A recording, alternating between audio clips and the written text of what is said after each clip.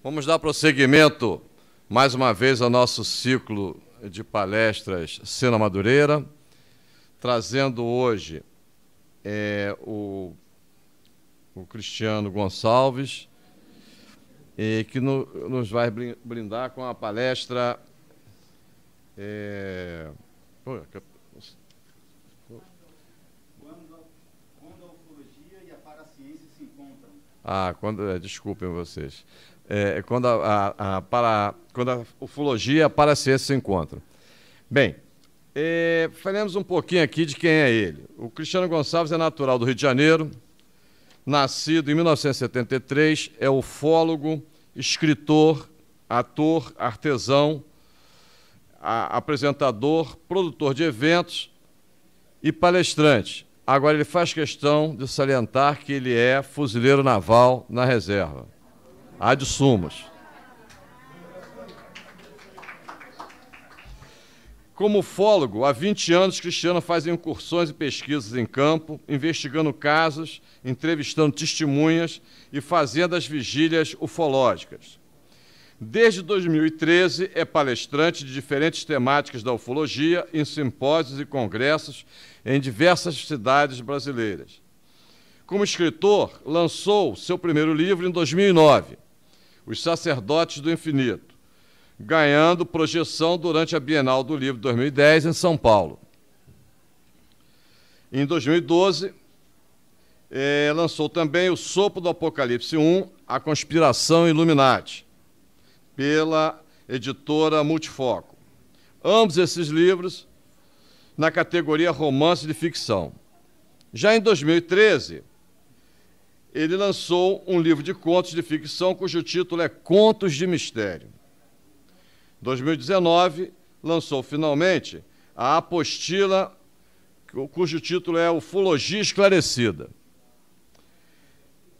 Viveu na Inglaterra, na Itália e em Portugal, e nesses países aprofundou-se em pesquisas, ampliando os conhecimentos relacionados ao que aborda em seus livros.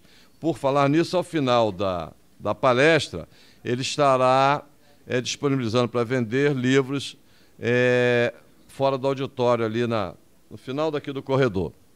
Tá? Com os senhores, então, nosso amigo Cristiano Gonçalves para nos brindar com a palestra. E me explicar o que é para para, ciência. Né?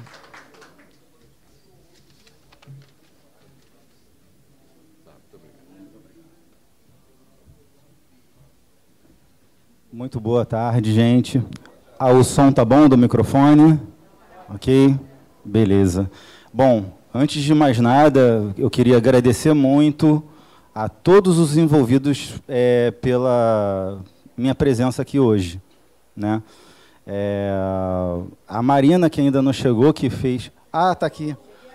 Ah, beleza. Agradeço muito, Marina, pelo seu contato, pelo seu convite.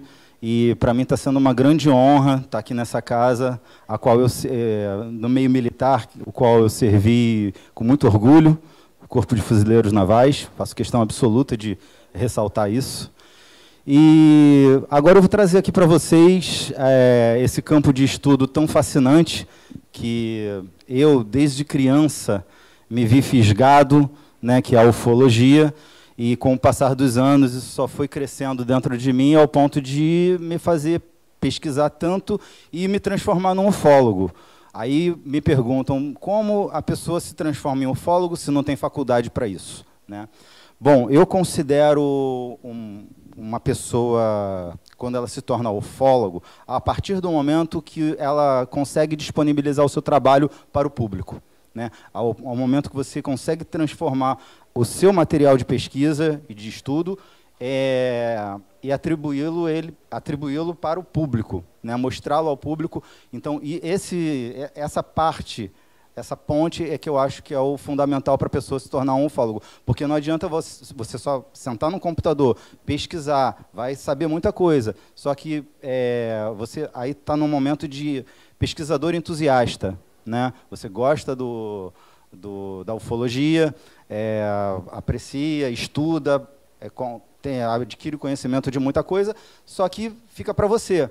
Aí, quando você se transforma num ufólogo, é quando você transporta esse conhecimento, que você faz as pessoas também terem esse conhecimento a partir de você. E aí existem vários veículos para isso. No caso, palestra é um deles, mas também tem através dos livros, é, através de, de, mídias jornalísticas.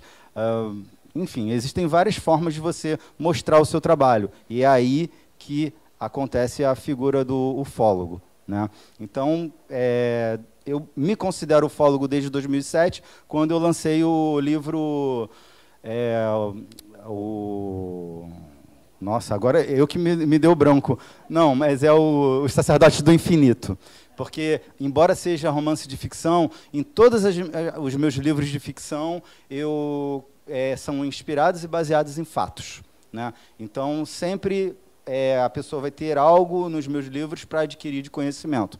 Inclusive, essa trilogia que eu estou lançando atualmente é bem dentro dessa vertente, dessa coisa de você é, ter ali um dinamismo de uma trama com muito suspense e aventura e, ao mesmo tempo, adquirir conhecimento de conteúdo ufológico e conhecimento forte, porque a gente, é, na medida que o tempo passa, a gente vai angariando mais experiência e as informações aumentam e a gente tem a, a condição de mostrar isso nos livros, né? ou em qualquer coisa da qual a gente vá a trabalhar e a expor ao público. Hoje, aqui na palestra, amiga, ah, eu tenho o um negocinho aqui. As palestras geralmente não têm esse. Quando a ufologia e a paraciência se encontram, é, isso é muito importante enfatizar, porque muita gente mistura as duas coisas. Eu gostaria de saber aqui é, quantas é, pessoas já participaram de eventos de ufologia, levanta a mão, de ufologia propriamente dito. É porque vem muitos ufólogos aqui também, né? Ministrar palestra. O Paulo Iannuzzi, que é o meu grande amigo. Obrigado, gente, pode abaixar. É, o Paulo Iannuzzi é um grande amigo e irmão, eu sei que ele também frequenta aqui da, a, a, o clube militar, clube naval e clube militar, né? E, e o Paulo Iannuzzi também é uma grande referência, é, inclusive o Paulo também fala de ufologia e de paraciência envolvendo a ufologia. O que eu vou fazer aqui hoje é mostrar aonde essas vertentes se encontram, porque Hoje em dia, até muita gente fala que em ufologia esotérica, ufologia mística ou ufologia paracientífica. E é um, é um pequeno equívoco, porque a ufologia mesmo, ela, ela tem a sua definição, que eu vou mostrar agora no próximo slide para vocês, e a paraciência também tem a definição dela. Existe as ocasiões em que elas se encontram, mas esse termo não existe, de ufologia mística, ufologia científica e ufologia espiritualista. É, e, o termo em si ele não existe. Muitas, muitas pessoas utilizam até para facilitar e falar a respeito desse encontro aí. Tá? A gente hoje vai falar, vai separar o joio do trigo e, e eu depois eu vou mostrar aonde elas se encontram. Aqui. Bom, ufologia, organização de estudo criada em 1947 nos, nos, Estados Unidos voltada para as atividades que envolviam os UFOs, OVNIs. Porém, o termo foi utilizado pela primeira vez em 1959 em uma postagem do Times Literary, Literary Supplement. O estudo é baseado em fotos e filmagens de avistamentos de UFOs ou de supostos seres extraterrenos, através de pesquisas com metodologia científica, isso é bom ser frisado, tá? É, o pesquisador se põe a campo para exploração, entrevista com testemunhas e coleta de evidências. Então, a atividade do ufólogo é essa. É a, é a, pesquisa de campo, é aquela vigília, é a entrevista. Por exemplo, eu é, tive um, um caso no, em Tanguá, não sei se alguém conhece Tanguá, ali do, perto de Itaboraí, né? Onde é, o sitiante ele simplesmente teve seu sítio sobrevo sobrevoado por mais de 30 OVNIs. E ele fotografou e me mandou.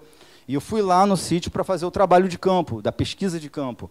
Que aí o que, que eu fui fazer lá? Eu, eu primeiro chequei as evidências, né, as fotos e tal. Ele muito nervoso. É, ele tem uma criação de, gal, de galo de raça, né, aquelas galos grandes e tal morreram é, dez galos dele de forma inexplicável. É, eu entrevistei ele, é, conversamos bastante a respeito do que aconteceu. É, chequei o terreno, vi lá as marcas de onde ele falou que o OVNI ficou pairado. Foram dois lugares principais. Uma onde atualmente ele planta aipim, um terreno, e o outro é, o outro foi na, numa subida do terreno, num platô, onde tinha uma mangueira. Senhores, a, a parte ali onde tem a plantação de aipim tinham marcas. Eu apresento um programa no YouTube e num desses programas está lá um mini documentário que eu fiz sobre esse caso. As marcas ali, só o terreno todo verdinho de mato e só ali onde ele falou que o OVNI pairou estava estava justamente a, a marca do, da, da mata queimada ali. Né? Uma evidência, isso aí é até um contato imediato de segundo grau. Vou mostrar para vocês a classificação dos contatos imediatos também. E a mangueira do, do platô lá do, na parte alta do terreno, a mangueira toda ressecada, com vários galhos em volta da mangueira, e ele pegava um galho grosso, assim, mais grosso do que esse microfone aqui, e ele quebrava assim como se fosse um palito de dente. Tamanha foi a desidratação e o ressecamento dessa vegetação que o OVNI ficou em cima. E não satisfeitos, chamei mais dois é, ufólogos amigos e fizemos, é, acampamos lá no terreno dele. É, inclusive ele nos serviu um, um aipim maravilhoso de noite, estava frio. E é, é, fizemos uma vigília lá durante a madrugada e conseguimos filmar um OVNI lá Dessa vez não foram 30, mas foi um que passou é, ao redor ali do, do sítio e é, finalizou o seu trajeto descendo atrás desse platô que tem a mangueira, só que distante. Aí perdemos a, vis a visualização dele mediante o, o, terreno mais alto. Então, quer dizer, constatamos, é, depois fizemos uma outra investigação mais ampla e descobrimos que lá é um local de muito avistamento, de muitos OVNIs. Inclusive, lá tem um, uma lagoa que tem o nome de Lagoa Azul. É proibido banho nessa lagoa, que, inclusive a água é bem azulada. Nós ainda não fomos nessa lagoa, estamos planejando ir agora.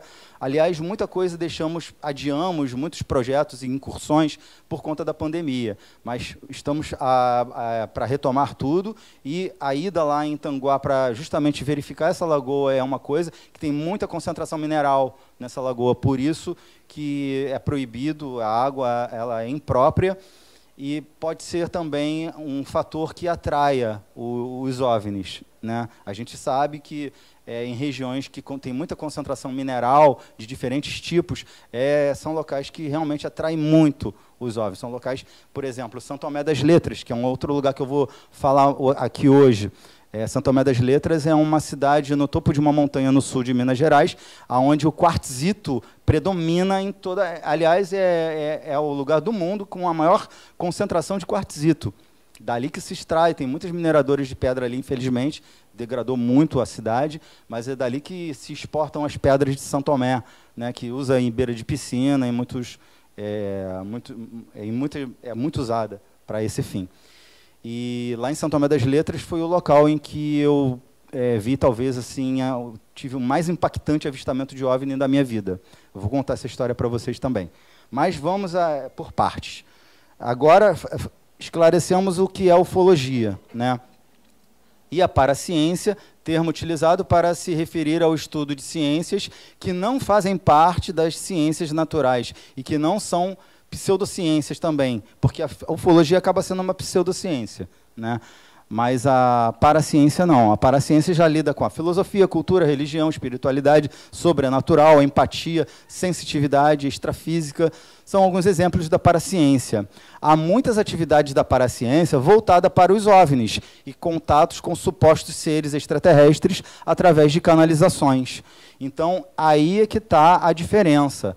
Na, na ufologia, eu costumo até dizer que o termo acreditar, né, o verbo acreditar, ele não cabe muito em ufologia, porque na ufologia nós lidamos diretamente, objetivamente, com provas, aliás, às vezes, 99% das vezes, as provas não são é, fáceis, né? Aliás, eu diria quase impossível as provas, mas nós temos muitas evidências, né? Então a gente trabalha nesse campo, é, com evidências é, pautado na ciência para explicação das coisas. Então, é por isso que não requer muito a questão da, da, de acreditar. Você tem ali, e aí a gente trabalha no, no campo das probabilidades, percentuais de probabilidade. Ah, aquilo ali tem um, é, uma tantos por cento de probabilidade de ser real. Ah, aquilo ali no céu, descartamos toda a possibilidade de ser balão, é, satélite, etc. E está na categoria de OVNI. E veja, quando a gente fala OVNI, a gente não, tá, não é sinônimo de nave extraterrestre. A gente não viu o ET abrindo a janela e dando um tchau para a gente. Então, é outro erro que muita gente é, comete. OVNI é objeto voador não identificado. E é, simplesmente a gente não sabe o que, que é. Pode ser de origem extraterrestre? Pode devido ao que ele faz. Né? Quando a gente vê um objeto voador fazendo aqueles movimentos erráticos, que quando ele faz uma curva de 90 graus, ele não, não faz uma curva, ele não faz um movimento freático, porque os nossos helicópteros e drones fazem, né? Fazem esse movimento assim. Só que, para ele fazer isso, ele faz um movimento freático e faz. Agora, o OVNI não. O OVNI, da mesma forma que ele está, ele vai. Então, isso daí a nossa física não explica. A, a gente não tem ainda uma... É uma lacuna a gente não tem como explicar esse movimento, e aí a gente pode considerar a possibilidade de ser uma nave extraterrestre. Mas é só até aí. A gente não tem como avançar.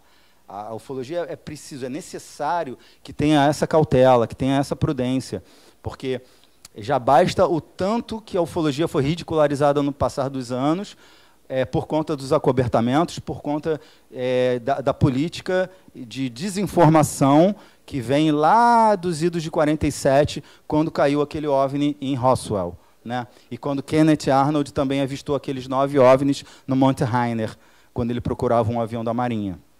Então, é, já que nós estamos assim é, tão à mercê de ridicularizações, é bom a gente manter cautela, prudência, e aí é por isso que a gente tem que trabalhar na paraciência, porque, para mim, para eu, cristiano, como ufólogo, a paraciência é bem-vinda, tá? porque ajuda, até nesse sentido de coisas que a gente não tem como explicar, ela ajuda a gente a não ficar atolado também, né? a gente não ficar assim num, atoleiro de não poder avançar. Na paraciência, a gente consegue é, obter alguns, algumas fugas da própria realidade, mas para uma realidade que a gente ainda não conhece. E é na paraciência que a gente alcança alguma coisa. Só que é uma linha muito tênue entre a paraciência e todas aquelas coisas ali, canalizações e tudo, e a viagem de maionese.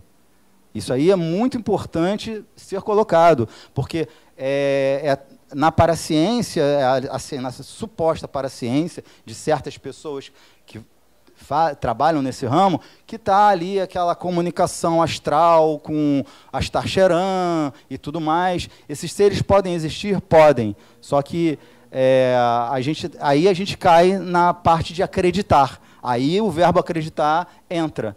Porque na paraciência é necessário, porque se a pessoa está dizendo que está canalizando e tudo mais, eu sei, existem métodos de saber se a pessoa está falando a verdade, é, pesquisas que muitas pessoas fazem. Né?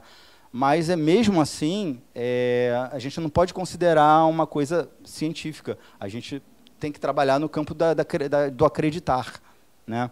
Então, é por isso que é uma linha tênue e é por isso que tem que se trafegar nas duas vertentes com bastante cuidado, bastante cautela. Tá? Contatos imediatos. Agora eu vou explicar é, brevemente. Eu até preparei assim é, as partes ali para a gente, pra, com os textos, para a gente identificar aqui os cinco graus de contatos imediatos, né?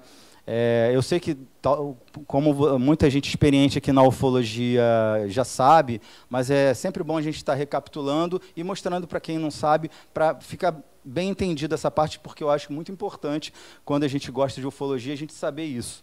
O contato imediato. Ah, isso aqui é o filme Contatos Imediatos de Terceiro Grau, que fez parte da. Acho que talvez um, um grande trampolim na, é, na, na, questão de, de gostar de ufologia. Eu sempre me via atraído. Desde criancinha eu tinha um disco voadorzinho de brinquedo, não era um carrinho, era um disco voador. Eu, sempre gostei, mas esse filme aí foi um divisor de águas também, assim como o livro Eram os Deuses Astronautas do Eric Van Daniken. Né? Então, aí eu coloquei só para ilustrar, né? mas vamos lá. Contato imediato de primeiro grau com pouca intensidade. Gente, existem pessoas que colocam contato imediato de zero grau. Eu não sei vocês, mas eu acho zero nada. E em certas vigílias que eu faço, que eu, eu observo aquele objeto no céu, brilhante, fazendo um movimento errático, que nenhuma nave humana faz, eu vou considerar isso zero grau quando? Como eu posso considerar isso zero grau? Então eu prefiro colocar primeiro grau de pouca intensidade e muita intensidade, porque o de pouca intensidade é o contato com a, a grande distância, onde não se vê detalhes do objeto, é aquela bola de luz. Né?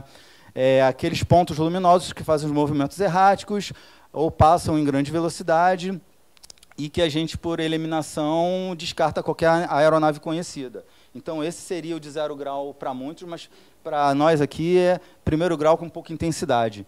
Até porque o que eu vi em Santo Tomé das Letras, é, que foi mais impactante, está nessa categoria aí. Só que foi tão perto, não foi lá no céu lá longe, foi bem perto. E a coisa mais maravilhosa que eu já vi na minha vida, que eu vou contar para vocês depois. Aí tem o primeiro grau com muita intensidade, que é quando a gente vê a fuselagem, as janelas, os pontos brilhantes nas bordas, então as diferentes partes de iluminação, coloração.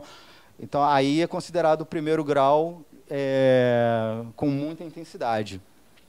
Contato imediato de segundo grau foi o que eu vi lá em Tanguá, aquelas marcas no terreno, as galinhas mortas. É, quer dizer, é, o segundo grau é quando a gente tem vestígios. A gente consegue, é, na, geralmente na, nas pessoas, geralmente ocorre perturbações no estado de choque, queimaduras, marcas na pele. Eu tenho é, pessoas conhecidas que, ao observar um, um OVNI, aquele brilho todo, deu conjuntivite. É um contato de segundo grau. É, é, quando a gente está de carro, muitos acontecimentos aí, muitos relatos, gente, do camarada estar tá na estrada, vem o OVNI e o carro desliga completamente. Isso daí é contato imediato de segundo grau também. É, os locais que os OVNIs pousam, que ficam aquelas marcas, ou que ele paira e resseca a vegetação embaixo, como aconteceu em Tanguá, também é um, é um exemplo. É, e também o fenômeno dos crop circles, ou círculos ingleses, ou agroglifos. É, esses também são considerados um contato de segundo grau. Tá? Tudo que deixa marcas. E até psicológica também. Pessoas que têm um, um, uma, um, uma marca psicológica de um contato, é, seja visual pelo, até, é considerado aí também um segundo grau, porque abalou psicologicamente a pessoa. Contato imediato de terceiro grau. Contato visual com a entidade biológica extraterrestre. Este podendo estar dentro ou fora de sua nave. Está também dentro dessa categoria o ser humano que observa ser observado pela ET. Ambos trocarem olhares, mas sem nenhum tipo de comunicação. Tá? Então, é, no filme, a gente vê, o, no, no final do filme Contato Imediato de Terceiro Grau, a gente tem ali o contato propriamente dito, de terceiro grau, mas aí depois, quando o personagem principal ele é tocado e levado para a nave, a gente até pode considerar um quarto grau aí, porque aí já há comunicação, né? seja pelo toque, seja de qualquer forma, até telepática.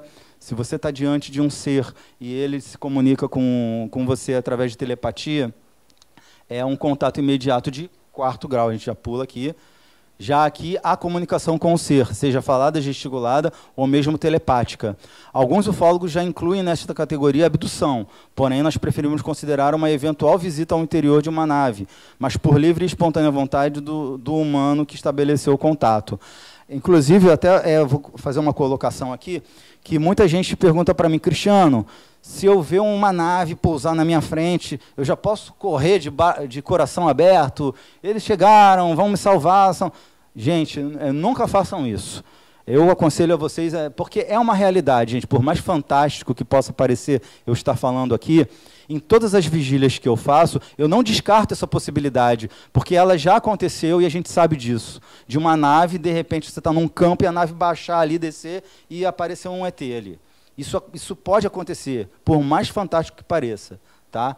E, e aí, o que, que acontece? Você, você sabe quem é esse, esse, esse ser, você sabe se ele é bom, se ele é hostil, porque nós temos exemplos de seres hostis na história da ufologia. Haja vista a Operação Prato lá, o caso Chupa-Chupa em Colares, em 1977. Existem até ufólogos que querem passar o pano, né? querem é, tapar o sol com a peneira ali. Ah, que o ser humano não entende, que é para o bem. Que... Gente, eu, tenho, eu tive contato com pessoas da família do, do seu Rosil. Seu Rosil foi o guia do coronel Orange Holanda lá na Operação Prato. Eu tenho contato com a filha dele, do seu Rosil. E, gente, o povo de Colares, até hoje, até hoje tem trauma.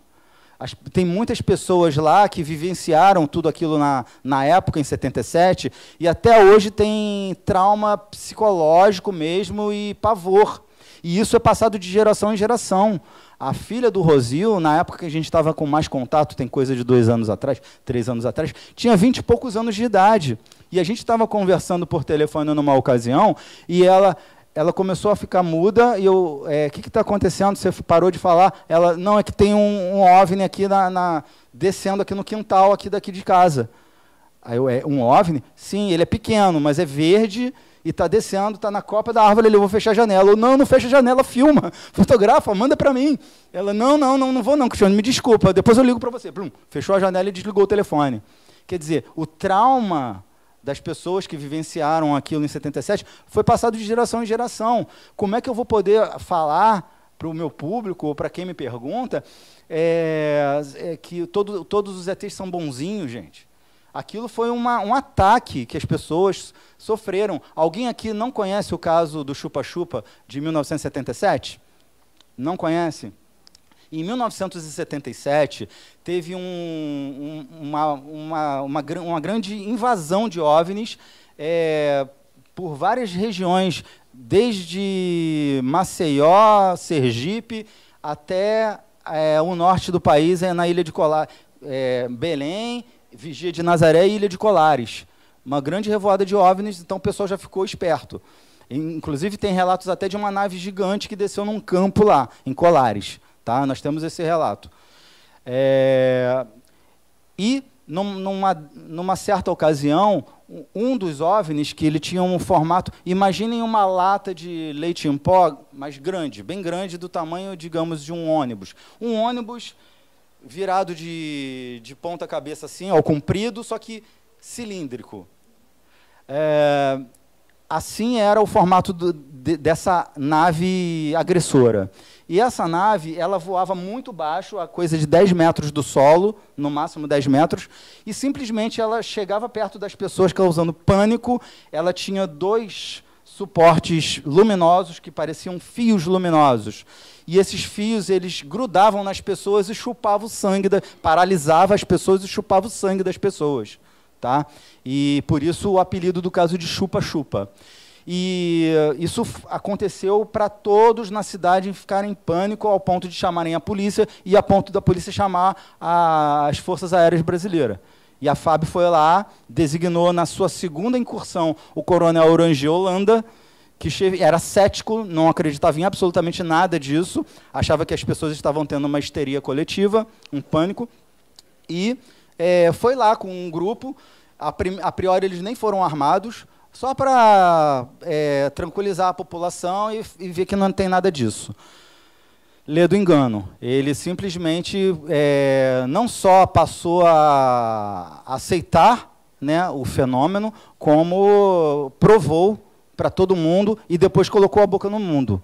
Né? O coronel Orange Holanda ele chegou ao ponto de ter contato com seres extraterrestres, além de ter visto as naves bem de perto e, e tudo ter sido filmado em, em filme Super 8. Ele filmou as naves, ele filmou uma nave gigantesca numa ocasião em que ele estava no Rio, num barco. A nave ela tinha formato de bola de futebol americano e ela ficava também ao comprido e desceu bem perto do, do leito do rio. E um ser é, apareceu, é, saiu desse, de, dessa nave e flutuou até próximo ao coronel Orange Holanda, que teve contato com esse ser. E muito disso foi filmado. E, infelizmente, nós não temos essa filmagem porque está guardada. Mas o coronel Orange Holanda, ele veio a público através do programa Fantástico na Rede Globo. Ele deu uma entrevista também para o pessoal da revista UFO e contou tudo o que sabia. Ele contou, tudo, jogou no ventilador. É, meses depois, ele tinha uma, uma casa em Saquarema. Meses depois, ele se suicidou com o próprio cinto em, em volta da, de sua garganta. Então, para quem não conhece a, esse caso da Operação Prato, isso foi só um, um, uma coisa básica que eu coloquei aqui, só para vocês terem noção, tá? porque para falar de Operação Prato e caso chupa-chupa requer uma palestra inteira. É, mas o básico é isso aí, gente. O coronel Orange Holanda ele se suicidou. É, é, bom, a gente não sabe. Foi de, logo meses depois que ele abriu, que ele deu a entrevista, simplesmente aconteceu. É, aí a gente não sabe. Infelizmente, não, é, existe essa especulação, mas está na casa da, das especulações. Eu já participei com o ufólogo Marco Antônio Petit em uma palestra em que o irmão do coronel Orange Holanda esteve e disse que o coronel Orange Holanda, depois desse episódio todo, é, passou muito tempo em depressão. Tá? E aí eu, depois em off, eu perguntei a ele, mas o senhor acredita mesmo que seu irmão tenha se suicidado mesmo? Ele é, não, não, me, não me disse nem que sim, nem que não. Né?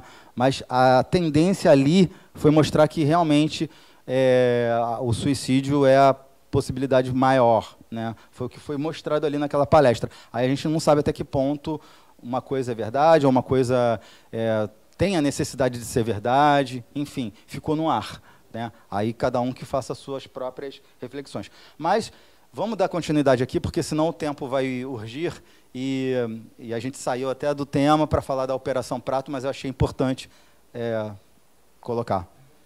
A de quinto grau já é a abdução, né? É onde justamente o ser humano é levado, sequestrado, seja lá de onde estiver, e consciente ou não, embarca na nave e geralmente serve aos ETs como experimento para alguma coisa. Essa questão da abdução será abordada é, logo agora. É que é, é mais à frente, quando era uma outra palestra que eu ainda falaria alguma coisa, mas eu já vou falar da abdução. E é justamente a abdução é, é um, é um ponto, porque vocês agora podem me questionar, Cristiano, você fala que a, a ufologia é pautada em ciência e você lida com a ufologia.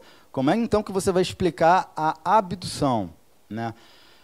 Gente, é, é dentro da ciência, nós é, consideramos a questão da hipnose.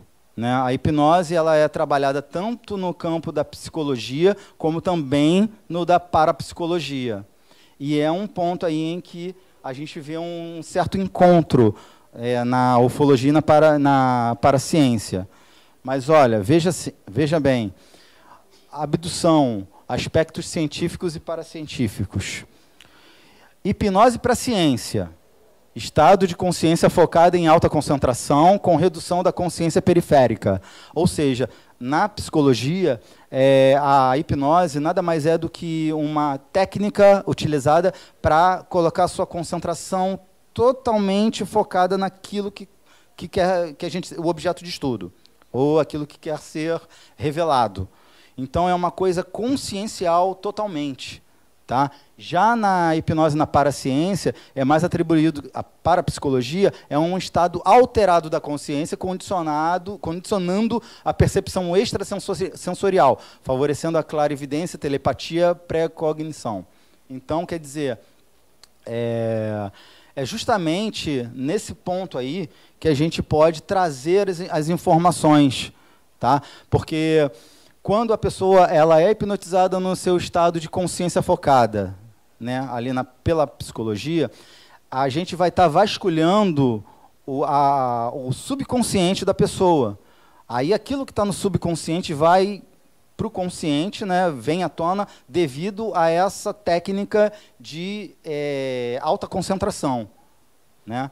E aí, através disso, nós temos a informação nos quatro cantos do planeta Terra de que é, os, os, os, seres, principalmente com relação à característica dos seres, né? porque os seres que mais, mais abduzem as pessoas são os da característica Grey, né? que são os cabeçudos com os olhões pretos. Esses são os responsáveis em 99% dos casos de abdução. Tá? Inclusive, é esse aqui, ó, a imagem relatada por pessoas submetidas à hipnose na ufologia. Eles são, eles são estranhos, né? É. Então, quer dizer, é, existem muitos relatos que, de pessoas que é, se submeteram à hipnose que falam deles. É por isso que a gente considera uma evidência de 90%, 99%. Eu cristiano poderia dizer para vocês 100%. Eu estou esperando ainda mais evidências, mas eu já tenho um caso que eu investigo em Petrópolis, em que eu poderia dizer para vocês aí 100%.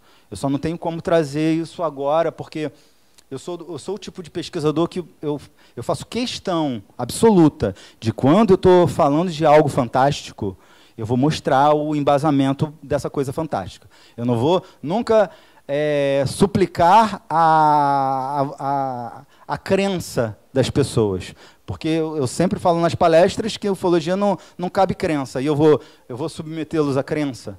Não. Eu vou mostrar. Quando eu, quando eu trouxer aquilo que eu estou pesquisando, e que eu até tenho um, um, um pequeno material, quando eu trouxer à tona, para vocês verem, até é, gostaria até de trazer aqui, é, depois a gente conversa sobre isso, quando eu tiver a possibilidade, é, essa evidência a mais, eu vou trazer aqui para vocês.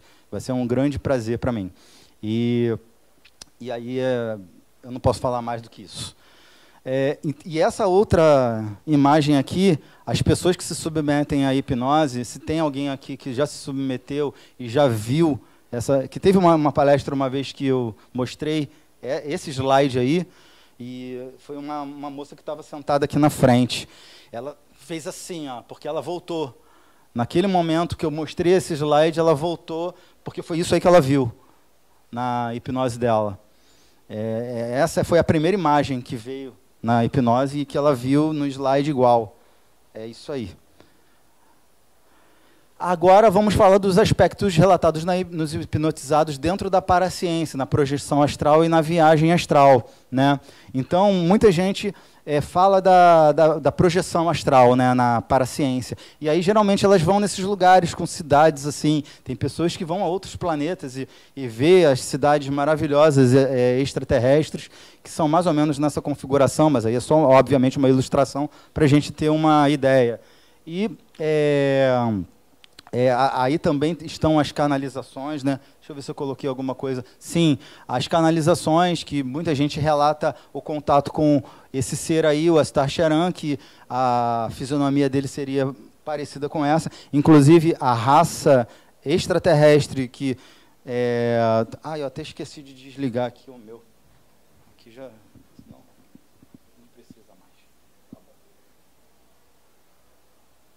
só gravo os bastidores e um pouquinho só para constar, não precisa. É, uma das raças extraterrestres é, que também nos visitam, que é muito relatada, é o, os, a gente chama de os nórdicos, porque eles têm essa característica parecida com as pessoas lá do norte da Europa. É, cabelos longos, aloirados, até esbranquiçados, eles são altos, a pele muito branca, e os olhos profundamente azuis. Né? É uma característica até é, conhecida para quem já estudou um pouco sobre os seres arianos, né? mencionados muito pelos monges do Tibete, isso há muitos séculos atrás, e que até alimentou a ideia de, de homens assim, é, digamos, perigosos no nosso planeta que originaram aí a sociedade secreta Golden Dawn, do qual Aleister Crowley e até o, o autor do Conde Drácula fazia parte, né? É, é este. E depois da, da sociedade secreta Golden Dawn, é, dois membros é, da franco-maçonaria, é porque também a franco-maçonaria sofreu várias vertentes no decorrer dos séculos. Então, nós temos aí uma, uma maçonaria altamente benéfica. Eu não sei se alguém aqui é maçom, mas eu tenho muitos amigos maçons e, e a vertente, pelo menos a, a, vertente da maçonaria que predomina aqui no Brasil é maravilhosa, assim que eu conheço. Pode ser que tenha alguma outra, não sei, mas mas existem também maçonarias lá nos séculos passados que não eram lá muito boazinha não, tinham umas umas questões assim de é, mentalidade de, dos Illuminati, daquela coisa toda lá. Bom, é, dois membros fundaram a Sociedade Thule, lá na Alemanha. E aí começou a grande loucura, né? É, eles se associaram depois ao Partido Nazista e é, a questão dos seres arianos era altamente, era o, era o ponto-chave deles, eles queriam o contato para absorver a energia vril. Então, tinha, aquela época também tinha muita, muitos contatos com, com a, a, a parapsicologia, estava em alta na época, existia até uma médium muito conhecida e muito famosa lá na Alemanha, que também entrou para a Sociedade Thule, e depois eles fundaram a Sociedade Vril, eu, inclusive, tenho uma palestra. Eu até falo no meu livro, que eu estou lançando agora, sobre a sociedade vril. Depois, no final, eu vou falar um, rapidamente sobre o, o livro que eu estou trazendo aqui para vocês. E, e aí, esses seres arianos, eles seriam é, oriundos da constelação de Aldebaran. E é, ali na, na, na, nas Pleiades, né? uma daquelas ramificações da, das Pleiades. E o continente que eles viviam aqui na Terra chama, chamava-se Hiperbóreo. Era da época da Atlântida, e com a, a cheia, né, o grande dilúvio do derretimento das calotas polares, o continente hiperbóreo, que pegava desde o Alasca até a China, na parte norte do planeta Terra, cujo a capital hiperbórea era no Mar do Norte, ali no, é, entre o Polo Norte e aqueles países do super norte ali da, da Europa, Dinamarca, Suécia e um pouco ali da Rússia também, né? Sibéria e tudo mais. Então, ali naquele Mar do Norte, ele afundou o continente. E aí os seres de Aldebaran, alguns voltaram, outros é, fizeram bases intraterrenas, começando por algum, alguns pontos ali da Europa, embaixo da Europa, mas no decorrer dos séculos eles é, se fincaram em várias partes do planeta Terra. Né? Inclusive aqui no Brasil, vindo lá do Planalto Central, passando por Mato Grosso até a, o Sudeste e Santa Catarina. Né? Aí a gente está falando também de Rio de Janeiro e Sul de Minas, obviamente. Né? É, bom, sendo isso uma coisa fantasiosa ou não, a Sociedade Vril é, patrocinou, aliás, a coroa inglesa na década de 30 patrocinou Percy Fawcett para vir é, procurar a cidade Z, né? E inclusive na última incursão do Percy Fawcett ele sumiu para nunca mais voltar, né? Nunca, nunca foi encontrado. Foram várias as, as incursões em busca de Percy Fawcett, nunca ninguém encontrou ele. E a sociedade Vril, ela posteriormente, antes da Segunda Guerra Mundial, porque eles foram ligados estreitamente ao Partido Nazista, né? Mas eles antes da Segunda Guerra Mundial eles vieram no Brasil, foram na Argentina e principalmente nos polos Norte e Antártida. É, a gente sabe que na Antártida tem partes lá que é proibido o sobrevoo, né? Que é totalmente confiscado. Se alguém, se algum avião passar por ali é abatido, então, tem partes secretas, tanto no, na Antártida como também lá no Polo Norte. E a gente, é, através de pesquisas e sabe lá, sabe de cá, a gente é, percebe que são as maiores entradas para essas bases intraterrenas. Né? E vários outros pontos que a gente conhece por aí pelo, pelo mundo afora. Né? Mas, é, segundo consta, a, o objetivo do, da sociedade Vril é justamente resgatar a energia Vril, que é a energia é, que faz, vamos dizer assim, os OVNIs se deslocarem, é essa força telúrica, né, que é, eles, obviamente, obtendo o controle dessa energia, seria uma superpotência. E só para a gente é, considerar ainda um pouco mais essa coisa que parece fantasia, mas a gente vê uns pontos de ligação, é, a, depois da Segunda Guerra Mundial, é, aconteceu uma operação chamada Paperclip, onde mais de mil cientistas alemães nazistas eles foram repatriados nos Estados Unidos da América. O nome dessa operação é Paperclip, tá? É, isso aí é livre, não é nada secreto, não. Todo mundo pode tomar conhecimento. E um, um desses grandes cientistas, é, tempos depois, na década de 60, chefiou a NASA e foi o responsável por ter mandado o homem para a Lua. Tá? É só para a gente já ver aí que é, muita coisa que a gente fala que parece fantástica, mas se a gente for montando quebra-cabeça, a gente vê que tem ligação, tem sentido. Aí a gente chega aos reptilianos. Os reptilianos, eles são é, menos mencionados na, na ufologia, né, através das... É, tivemos já pessoas que falaram sobre os reptilianos é, através de hipnose, mas é muito menor do que os que falam sobre os Greys tá? Mas existe, tá? E a configuração desses seres é, geralmente é essa aí mesmo, tanto na ufologia como na paraciência, de pessoas que fazem a viagem astral e a projeção e lida com esses tipos de seres e geralmente são seres hostis, não são benéficos, embora eu já tenha, eu tive uma vez uns contatos que me disseram que teve uma, um contato benéfico com eles. Então, quer dizer, a gente não pode generalizar. É, é aquela coisa, né? Eu até esqueci de, de falar o que é, responder o que, que, quando me perguntam. Ah, Cristiano, quando desce a nave eu vou de peito aberto? Eu falo assim: tenha cautela e prudência, porque eles têm a condição de falar contigo através de telepatia. Então, se eles conseguem, se eles conseguem é, se comunicar através de telepatia, você espera e troca uma ideia, né? Vamos ver, vamos se conhecer. Não vou entrar na tua nave assim. Né? Eu não sei se são esses, se são os Greys do mal, porque tem isso também, tá, gente? Não generalizem os seres da raça Grey, tá? Não generalizem. Existem Grey, Grey é igual ser humano. Tem seres humanos bons, tem seres humanos ruins, e tem os muito ruins seres humanos, muito capazes das maiores atrocidades que nós sabemos. Os Greys, eles têm os cientistas, mas tem os, os benéficos, tá? E tem os que não são lá muito bom não. Então é bom sempre a gente esperar um contato telepático, sempre para ver com quem que a gente está lidando. Tá? Agora sim eu vou falar de São Tomé das Letras, gente, porque é uma das cidades místicas, mais místicas do, do nosso país. Alguém aqui conhece São Tomé das Letras? Levanta a mão. A, a metade, a metade do, de vocês conhecem. É, Santo Tomé das Letras é, é um lugar magnífico, fica lá no sul de Minas Gerais, no topo da uma montanha, que eu já falei um pouquinho a respeito, tem as pedras de Santo Tomé. Ali é tudo quartzito, gente. Essa, essa aí é a Casa da Pirâmide, é um dos pontos turísticos mais conhecidos de Santo Tomé das Letras. O público vai lá, fica lá em cima, aí fica ali ao redor, que dali é o melhor ponto para ver o pôr do sol. Então, isso aí, na hora do pôr do sol, fica lotado de gente sentada aí, esperando o sol se pôr.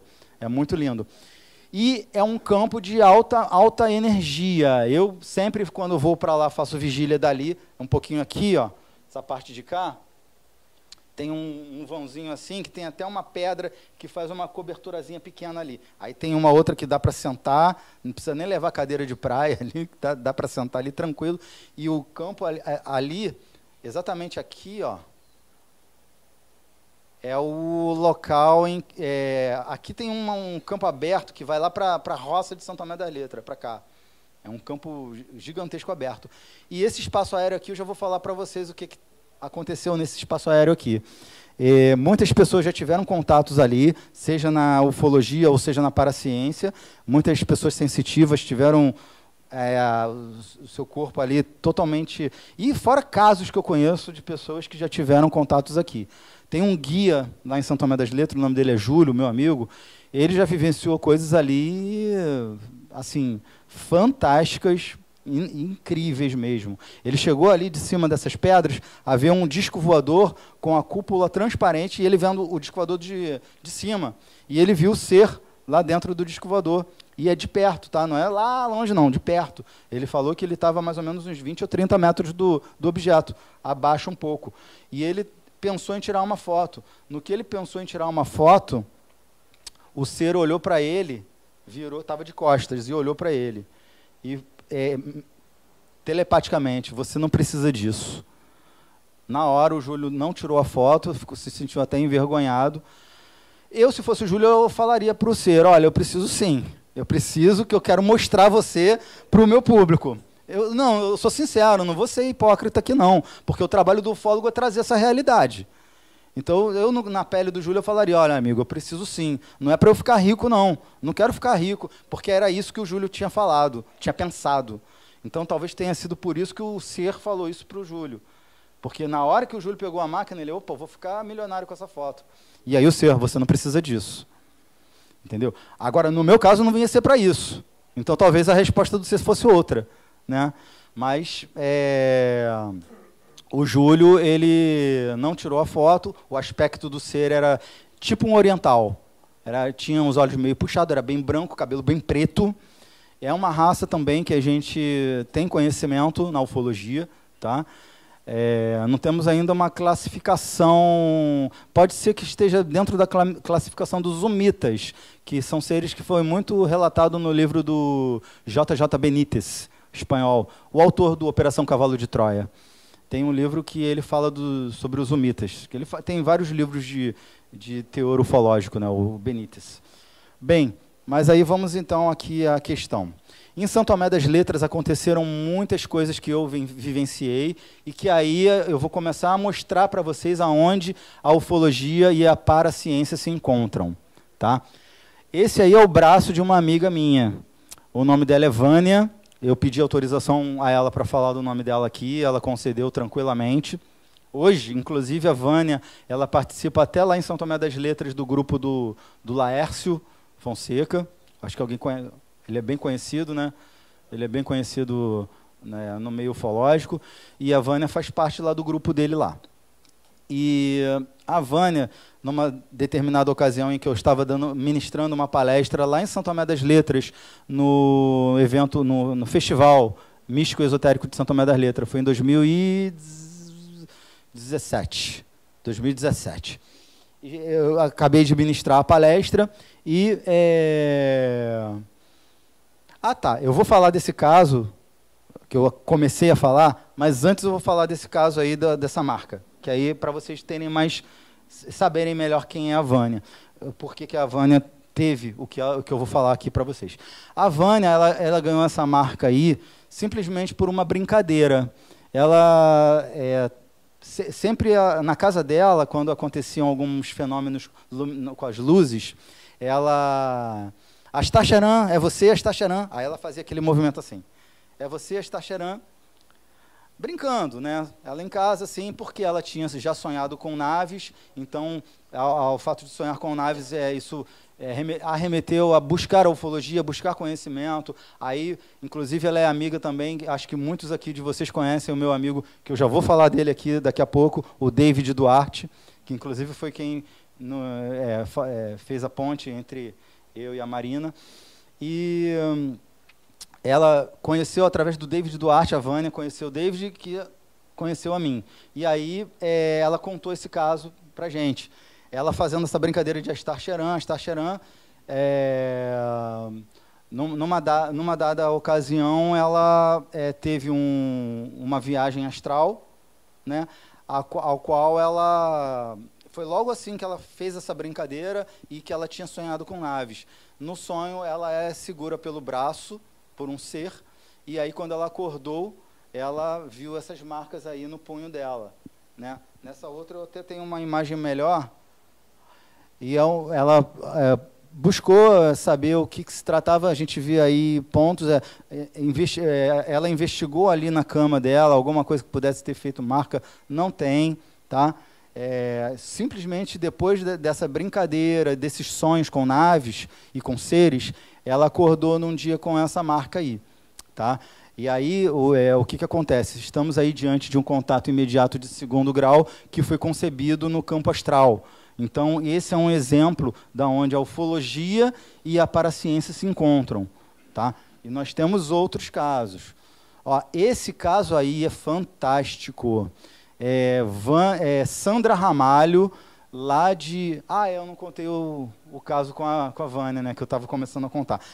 Vale a pena, vale a pena. Eu, eu, antes de falar da Sandra, então estava eu e a, a Vânia lá, ministrei a palestra e tal. E a gente saiu depois da palestra, saímos para dar uma volta ali na cidade de Santo Tomé das Letras. Tinha uma placa de aluga-se em, em cima de uma lojinha.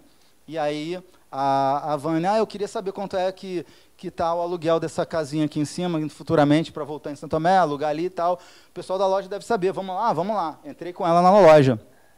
Aí, quando eu entrei com ela na loja, é, e lá o pessoal gosta muito de ufologia, o dono da loja, pô, cara, você foi o que deu a palestra de ufologia no festival? Eu, sim, sim, dei a palestra. Poxa, eu preciso conversar aliás, dicas de passagem, até chegar nessa loja, que a gente estava ali a alguns metros já da, da, de onde aconteceu a palestra, eu tive que fazer várias paradas, porque o pessoal gosta muito de ufologia lá. E aí eu me senti até um artista hollywoodiano, porque a cada lugar que eu parava, o pessoal queria conversar comigo. É, aí, beleza, chegamos nessa loja, o cara também é, já tá, vamos lá, vamos conversar de ufologia. E ele queria contar o caso dele. E aí, entramos na loja, isso que é muito interessante. Entramos na loja e tinha um bebezinho no carrinho, uma bebezinha no carrinho, de neném. Um casal dentro da loja, o rapaz estava olhando as coisas e a esposa do rapaz estava brincando com a nenenzinha. Entrou eu e Vânia. E aí o rapaz, ah, você é da ufologia e tal, aí começou a conversar comigo, a Vânia do meu lado, olhando as coisas e o cara conversando comigo e que eu tive contato lá na Bahia, que eu vim da Bahia, eu tive contatos lá, mas aqui em Santo Tomé das Letras foi onde tudo aconteceu. E a minha esposa, a esposa dele não estava ali naquele momento. E a minha esposa sabe disso e tal. E o, o, turista olhando as coisas e a esposa do turista brincando com a nenenzinha. Vânia do meu lado. E aí ele me contando a coisa, as coisas e tal. Aí nisso, a, a esposa do turista que estava brincando com a nenenzinha bota a mão na cabeça assim e fala para o rapaz: Olha, eu tô, vou ali fora que eu não estou me sentindo muito bem. E ela sai. E o rapaz continua lá vendo as coisas e o rapaz conversando, o dono da loja conversando comigo. E a bebezinha ali, aí a Vânia foi brincar com a bebe, bebezinha. É importante isso. A Vânia foi brincar com a bebezinha. E o rapaz me contando a história. E aí, de repente, o, a esposa do rapaz que saiu meio que passando mal voltou, ó, tô muito. Aí o rapaz foi lá, acudiu ela e depois voltou, ó, me dá isso aqui, aí comprou lá o que ele queria comprar. Não que ela passou mal, já até vomitou ali. Então, aí pronto, saiu, foi lá acudir a esposa. E a Vânia brincando ali com a criança e o rapaz me contando a história. Então, é, de repente, quando o cara está acabando de me contar a história, a Vânia, Cristiano, estou te esperando lá fora, tá? Aí eu olhei para ela assim, ela meio assim, saiu. A história do rapaz é a seguinte: ele tinha um problema na coluna, tem um problema de operou a coluna já, ele anda de bengala e ele é estéreo, ele não pode ter filhos, tá?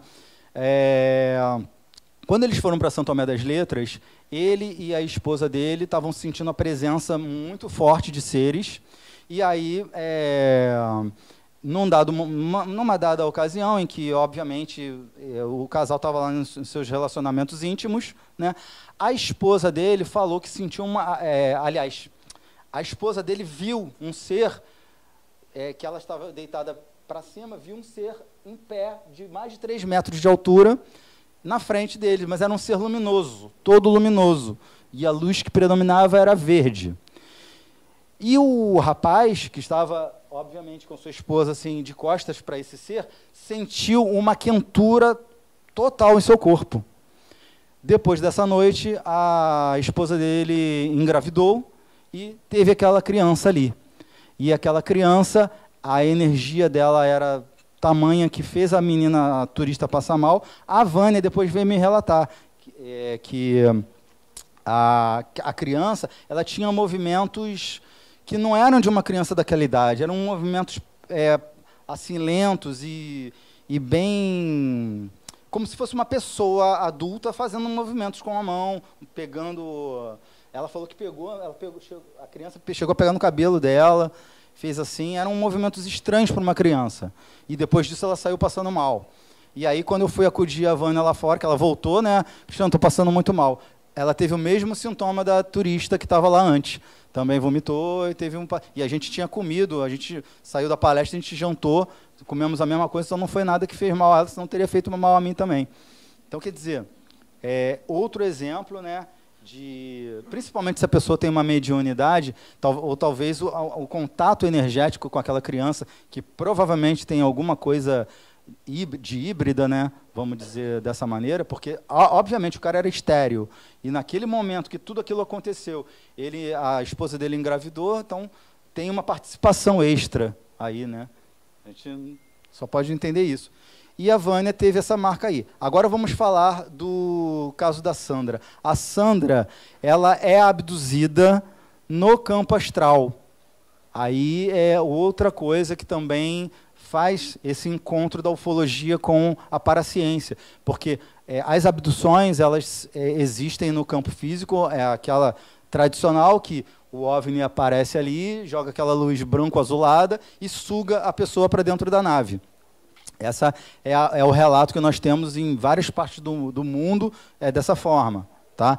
E nós temos a no campo astral, que a, a do campo astral a pessoa está dormindo em sua cama e de repente a, acontecem as coisas e ela se vê, é, alguns até se vê se deslocando pelo espaço, outros já se veem dentro da nave. Tá? E aí dentro da nave há toda a, o contato com os seres, o diálogo mental na maioria das vezes, né? A Sandra, ela foi mais de uma vez. E uh, numa das vezes que ela foi, a filha dela estava também. Ela tem uma filha de nove anos. A filha dela, de nove anos, conversava sentada com o, um Grey, digamos, o, o, o Grey responsável ali da, pela, pela, pelo contingente da nave. E a filha dela conversava francamente com, como se estivesse conversando com uma pessoa comum. A mãe dela, a Sandra, estava deitada, sendo submetida a algumas pesquisas por parte dos ETs. Uma dessas pesquisas foi introduzir um, um instrumento pontiagudo no dedo dela, em que ela sentiu muita dor. É, eles introduziram aí no dedo dela e também outra, um outro instrumento entre os seios dela, que fez essa mesma marca aí. Aí, ela, obviamente, eu nem pedi a ela para ela me mandar a, a foto do, da outra marca. Mas aí vocês já vêm, eu não sei se eu mandei, a, coloquei a outra aqui, acho que não. É, coloquei. Aí mais de perto para vocês verem. Ó, essa daqui foi logo no dia seguinte da abdução, tá? Essa marca aí. Aí, uma semana depois, estava assim ainda. A mesma coisa com a, no, no tórax. E e ela, ela me relatou, a filha dela conversou muito com o ser. E segundo a filha dela, o pouco que eu me lembro, porque eu, eu não, não levo a, o relato de uma criança para para público assim, né? Não, não vou é, fazer public, publicar, né, o relato de uma criança e nem mostrá-la. Mas é, segundo que eu me lembro, era uma conversa da, do qual os seres estavam fazendo esses, esses experimentos é, para necessidade tanto deles como também da Sandra e que era uma coisa benéfica. Bom, eu não sei até que ponto foi benéfico para Sandra, porque a Sandra até numa ocasião ela se afastou um pouco da ufologia. Eu até não tenho não tenho tido contato com a Sandra e foi uma coisa que não, não, não trouxe muitas coisas boas para ela não. E segundo um dos maiores pesquisadores da área de abdução, David Jacobs, ele é taxativo em dizer que a 99 das abduções por parte dos Greys é para interesse deles, não interesse nosso. Né? E ele não considera isso uma coisa benéfica e ele considera os greys hostil, hostis por conta disso. Tá? Então, é... ah, e detalhe, nesse dia dessa abdução, quando a Sandra acordou na sua cama, ela viu um ser grey em pé no quarto dela, no cantinho assim, e este se desmaterializou na frente dela. Tá? Então, esse daí é mais um caso onde a ufologia e a, a paraciência se encontram porque nós temos as marcas aí também. Né? Embora seja uma abdução no campo astral, dentro da paraciência, mas nós temos a marca do que foi relatado dentro da nave. Está aí. E não foi preciso hipnose, não. Isso aí ela lembra conscientemente.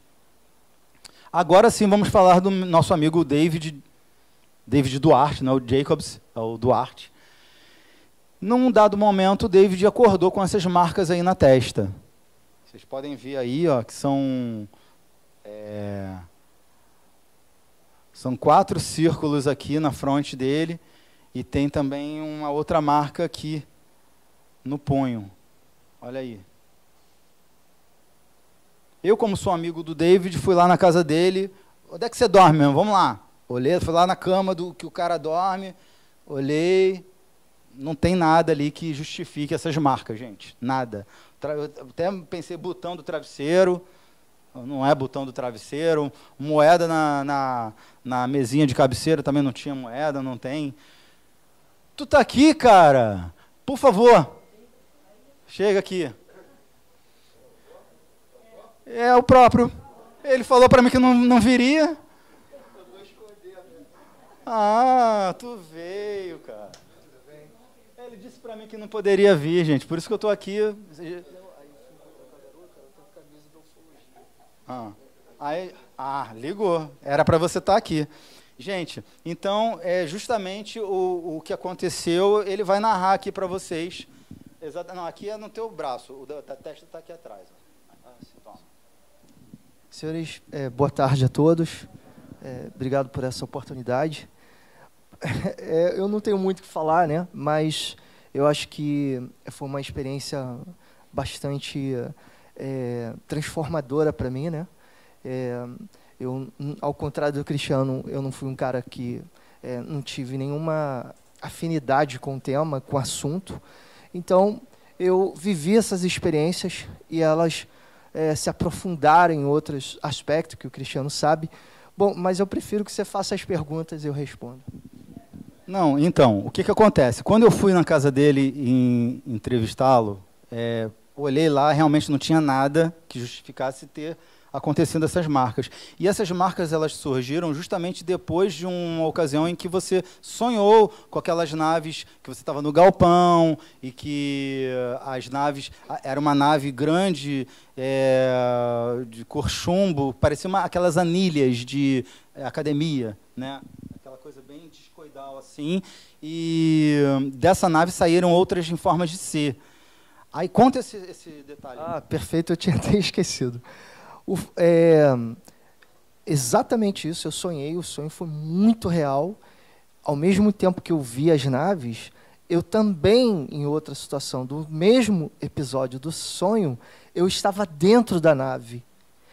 E quando saíram essas supostas, essas naves que isso, em, em, forma de uma envergadura, né, de C, isso descia e estávamos no galpão, todo mundo correndo e conforme aquelas, aquelas naves vinham, elas paralisavam as pessoas e faziam uma espécie de um é, escaneamento.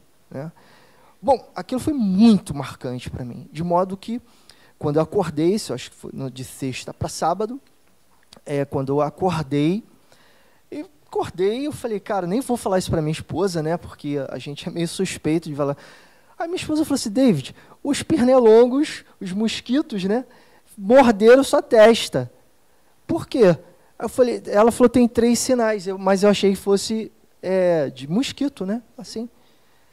E aí quando eu vou, né, lavar o rosto, caraca, o que eu vi? Exatamente isso aí, né? Exatamente isso. Ficou um bom tempo e depois desse sinal, desses sinais, é, descobri na perna, na perna não saiu, né? Ali, na tua perna ou no teu braço?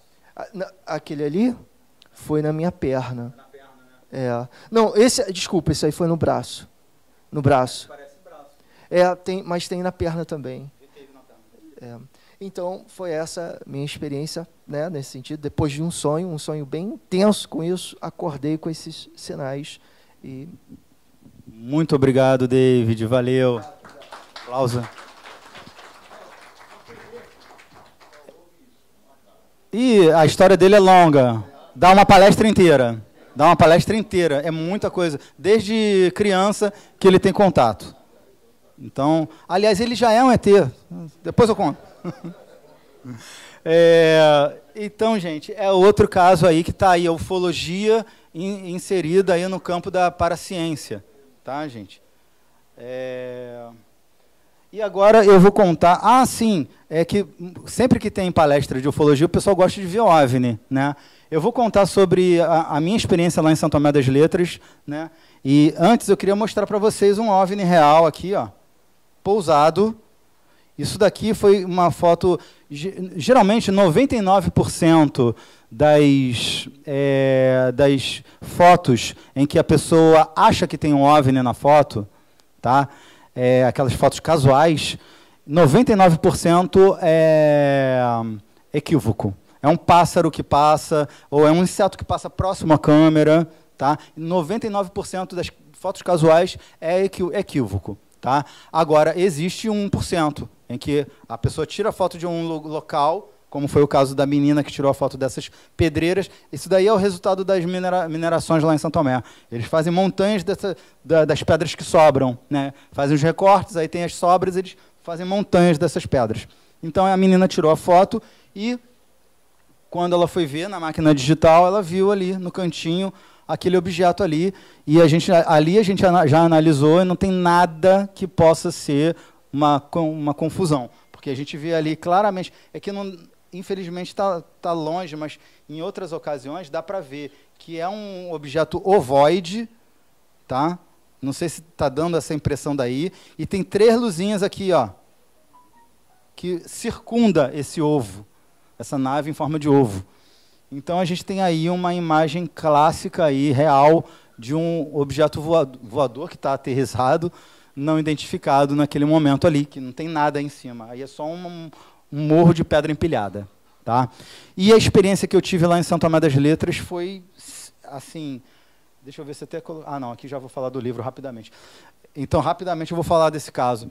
Estava eu e meu amigo Duque Estrada, lá em Santo Tomé das Letras, perto daquela casa da pirâmide que eu mostrei logo no começo falando de Santo Tomé, fazendo a vigília. Fizemos a vigília ali até 5 horas da manhã sem ver nada. Que vigília, gente. Não é que você vai fazer uma vigília com o fólogo e tal e você vai ver alguma coisa, não. 90% é de chance de não ver nada. Só que essa atmosfera da vigília é fascinante, é maravilhosa. Se alguém nunca fez uma vigília ufológica na vida, façam, porque não precisa nem ver nada. Só o fato de você estar ali naquela, naquele astral, naquela coisa ali, naquele. É, isso já vale. Você Bom, você vai ter a visão maravilhosa das estrelas, já, já vale o passeio. Né? E aquela, aquela expectativa é a melhor parte. Tá? Aí quando aparece, é obviamente que é a cereja do bolo. Mas aconselho a quem não fez uma vigília, faça. Pode ser feita de qualquer lugar. Né? É só dedicar atenção ao céu. Que geralmente até. E nós estamos numa época de bastante incidência. Seja aqui no Rio de Janeiro, seja no sul de Minas. Então vale a pena. É... E aí eu e o Duque não vimos nada. Então, beleza, vamos embora, 5 horas da manhã. Amanhã ainda tem os afazeres aí, descansar um pouquinho. Terminamos, fechei, guardei a filmadora, guardei na mochila, a maquinazinha fotográfica também, fiquei com ela na mão. E fomos descer. Que aí, para você, lá daquele local, é, daquele local onde tem a casa da pirâmide, você pega uma trilhazinha, aí você é, chega nas lajotas de pedra que você desce. Né? Você desce, aí você descendo ali, você já vai estar ali onde tem os barzinhos, é onde até funciona a, a night, né? De Santo Tomé das Letras, é ali. Onde tem os barzinhos, os músicos que tocam, e é ali embaixo. Aí a gente está descendo a lajota de pedra, o Duque chega para mim, Cristiano, por favor, me dá mais cinco minutinhos. Aí eu, não, tudo bem, Duque, tranquilo. E aí o Duque se virou novamente para lá para o céu, é que é, é, um, é, é, aquele espaço de céu que eu falei ali para vocês. Vou botar aqui de novo. É esse espaço de céu aqui, ó. Esse aqui. É um pouquinho mais para cá, ó. saiu daqui, pegou uma trilhazinha aqui, aí aqui está as lajotas de pedra para você descer. Então, ele virou para lá, para esse céu aí, e eu fiquei olhando para os barzinhos, que eu já estava querendo até tomar uma cervejinha para dar uma relaxada e para ir dormir. E aí fiquei ali, né, esperando o Duque olhando para lá. Gente, não deu nem um minuto, dois minutos. Um minuto só, o Duque pegou no meu braço, cara, olha aquilo. No que eu virei e olhei, gente, estava passando um OVNI, ele estava fazendo isso aqui, o movimento dele, ó. ó. Só que não era vermelho que nem o ponto ali do laser, não. Era um amarelo de outro mundo. Ele estava aqui, ó, e ele estava assim, ó. Estava navegando, é, não, não tem essas paradas, não. Era uma, uma, um voo contínuo. Da direita para a esquerda e nessa velocidade. Ele não estava nem lento e nem estava rápido. Ele estava, o Duque até metaforicamente, ele estava desfilando para a gente. Estava muito perto, coisa de 50 metros Não mais que isso, porque era grande, amarelo, o Duque chamava de amarelo, OVNI amarelo maravilhoso.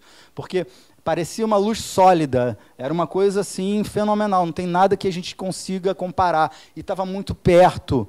O que me impactou tanto é que eu já vi hum, nessa é, coisa toda de ufologia, eu já vi OVNIs, inclusive em Santo Tomé das Letras mesmo, eu tinha visto um que tem num dos meus programas no meu canal, o OVNI ele fazia movimentos erráticos, foi num feriado de 95, lá em Santo Tomé, toda a cidade estava lá, 12 de outubro de 1995, e o OVNI fez vários movimentos erráticos.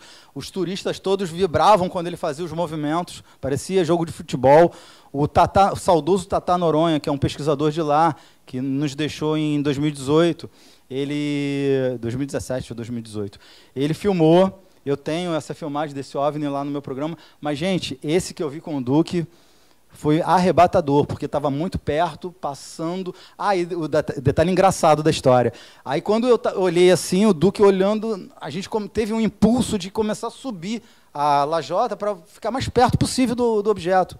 E aí eu estava com a máquina fotográfica na mão. Eu não sabia, eu correndo naquela. Não é uma lajota lisa, são lajotas de pedra com várias fendas, pedras, mato, assim. Então eu não sabia se eu olhava para não tropeçar, eu não sabia se eu preparava a máquina para tirar uma foto, eu, não sabia se eu continuava olhando que o objeto estava passando. Eu, eu, fiquei nessa, nesse conflito interno, assim, tropecei, quase caí. E eu, eu cheguei para o Duque, Duque, para. Não vamos subir mais, não, vamos continuar olhando, porque senão a gente vai perder. E aí eu desisti, gente. Ali o fólogo, acabou o fólogo ali, porque eu, eu só queria contemplar aquilo ali. É uma coisa assim que eu não tenho palavras para para dizer para vocês a emoção que é de você estar tá diante de um fenômeno, por mais tempo de ufologia que você tenha, seja como entusiasta, seja como ufólogo. Não há nada que se compare quando você está diante do fenômeno ali e você sabendo que é real e que você a, a, o seu senso crítico e cético te afronta naquele momento e não, isso daí é um isso em frações de segundos. Isso daí é um satélite, não. Isso aí é um drone, não. Isso aí é um balão, não. Isso aí é um avião, não.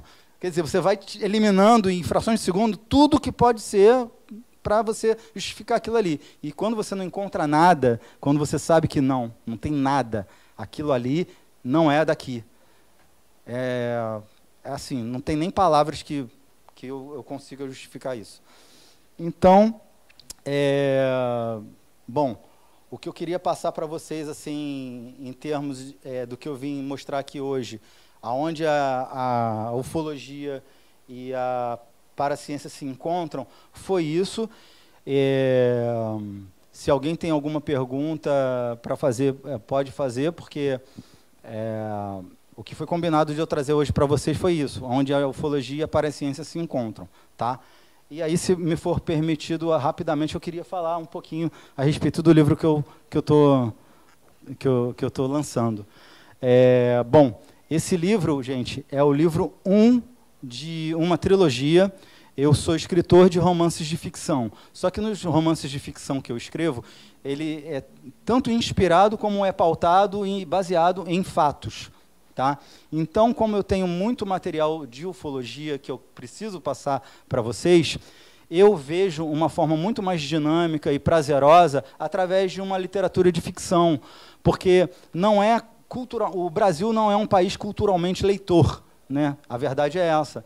É, muitas pessoas preferem é, assistir um filme hollywoodiano de ficção que trate de ufologia, mas que né, tem aquela coisa toda, Star Trek, tem na, na, ufologia tem vários fãs de Star Trek, de Viagem Jornada nas Estrelas e etc. E é, o, os livros de romance, de ficção, eles são meio que no, no, a criança ela não é adaptada para ler desde a infância, não tem essa cultura, né?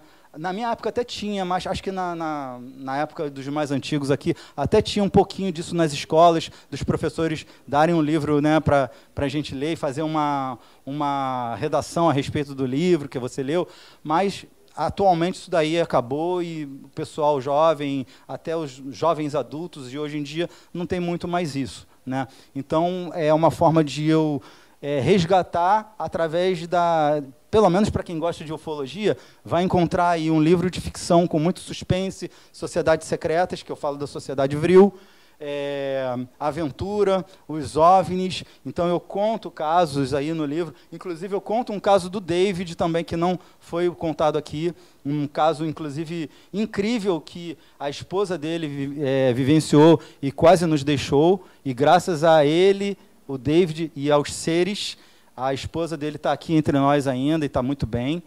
E uh, eu conto é, aí, é, obviamente, na, na pele de um dos personagens. Mas aí depois o livro ele é recheado de notas de rodapé. Então tudo que é fato está é, ali na nota de rodapé. E o, o, a trilogia, o livro 1, livro 2 e livro 3. É, a história se passa em 1996 e seria o antes do caso de Varginha. Aí, o livro 2. Ah, por exemplo, ali, ó, é, Contato OVNI, Segredos que Vêm do Céu. Livro 2, Contato OVNI, Segredos em Varginha. E livro 3, é, Segredos Revelados. Tá? Então é o antes, o durante e o depois do caso Varginha, com muita ufologia incutida, muita, muito conhecimento ali, tá? de pesquisa mesmo, é, seja em casos que eu vivenciei, que eu tive conhecimento, como também casos da ufologia mundial. É, eu tenho uma nota de rodapé ali que eu falo da noite oficial dos OVNIs, em 1986. Falo também do, da queda do OVNI de Roswell, em 1947. Então tem muita coisa de ufologia também, seja ufologia histórica, ou seja, que eu vivenciei.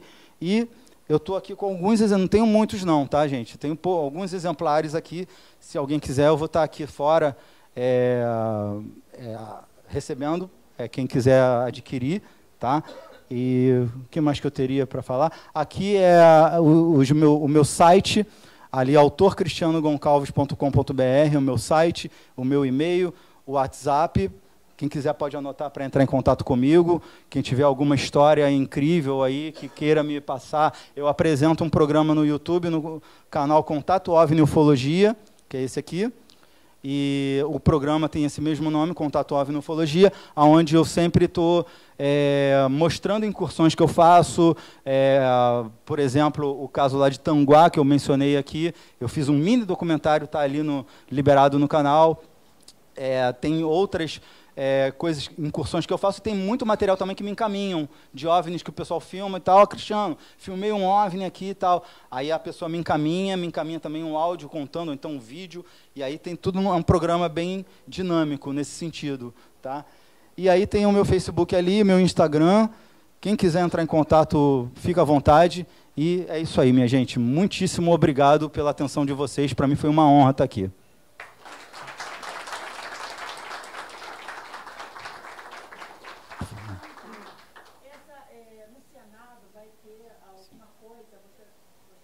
Eu estou sabendo. O problema é que, tanto no Senado como no Pentágono, a gente fica muito. É, fica tudo muito a desejar. Né? Eles falam muitas coisas ali que a gente tem. Assim, o, o, que eu queria mesmo, já que vai ter essa. Essa, essa discussão no Senado, eu, eu, eu gostaria que fosse uma possibilidade de principalmente as Forças Aéreas Brasileiras, de liberarem os, os vídeos da Super 8 que estão lá com eles, da Operação Prato, que tem a filmagem que o Urangê Holanda fez do, do ser, da nave. Seria maravilhoso, mas não. Fica sempre nesse mar do mesmo.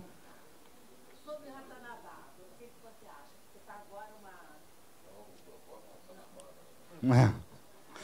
Olha só, eu já até conversei com eles, tá? É é, tá na mídia, tá muita, muita coisa assim sendo falada.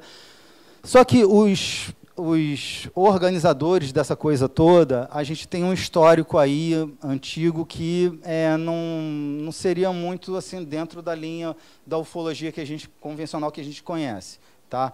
Eu assim gostaria, não vou falar nada aqui para não ser antiético, mas eu gostaria que vocês que vocês é, refletissem bem, não acreditem de primeira, tenham suas reservas com relação a Ratanabá, porque não, há, não havia nada no planeta há 450 milhões de anos.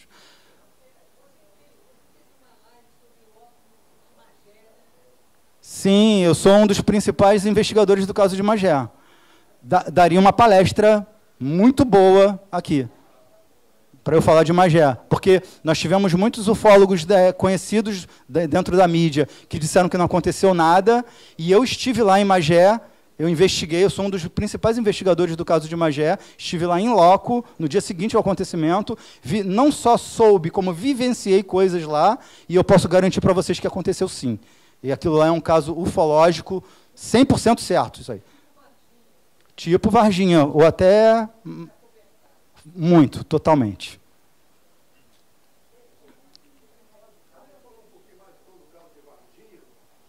O caso de Varginha, ele é, é que também daria uma outra palestra. É, mas, mas é, o que aconteceu em Varginha foi o seguinte: é, três meninas que vinham de uma. É, fizeram um trabalho doméstico numa casa, elas foram cortar caminho lá em Varginha, no bairro de Jardim Andere, por um era um caminho que passava por um, uma regiãozinha de trilha de mata para chegar na, na, no bairro delas, que era ali do ladinho. Então, para elas não darem a volta, elas foram cortar o caminho por ali. No que elas entraram naquele caminho, elas se depararam com um ser agachado assim, nesse formato, é, diante de uma parede, tá? O ser agachado com olhos vermelhos e três protuberâncias na cabeça e as, as, as veias saltando pelo pescoço. Aquilo ali, elas ficaram apavoradas, elas ficaram a 10 metros desse ser, como daqui a, ali na parede. 10 metros. E elas ficaram apavoradas olhando aquilo e saíram correndo. Um forte cheiro de amoníaco, tá? E e aí foi que, o, quando elas falaram para a mãe delas, a mãe delas chamou a polícia, chamou o pessoal e foram ali olhar o local. O local ainda tinha o cheiro de amoníaco. Então, o caso de Varginha tornou-se conhecido através desse relato, dessas três meninas, que hoje mulheres.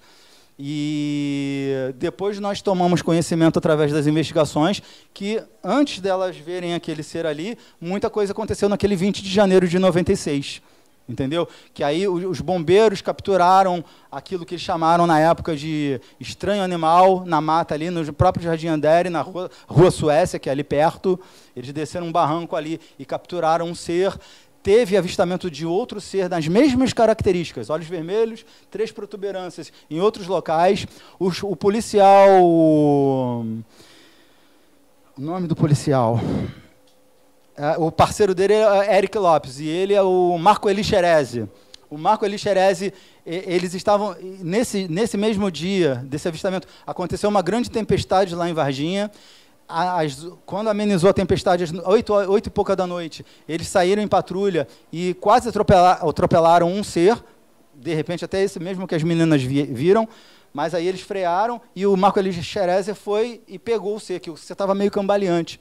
Ele pegou o ser é, talvez ele tivesse. É, tudo leva a crer que ele tinha um furúnculo no, na axila. E o, talvez o contato com esse ser tenha é, ocasionado uma infecção generalizada nele que o levou à morte. E era um policial em plena juventude, sem nenhum problema de saúde. Né? E o, o laudo médico está ali, para todo mundo ver. É infecção generalizada de razão desconhecida.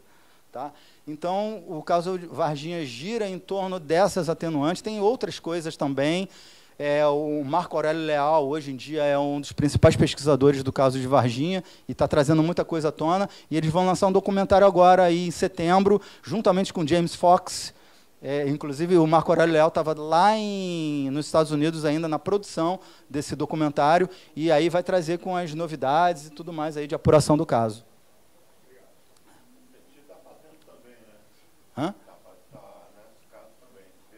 Ah, o Petit está dentro. O Petit foi um dos principais investigadores do, do caso de Varginha, com toda certeza.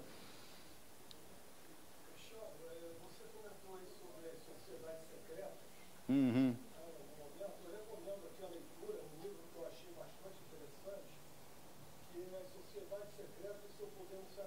Eu tenho.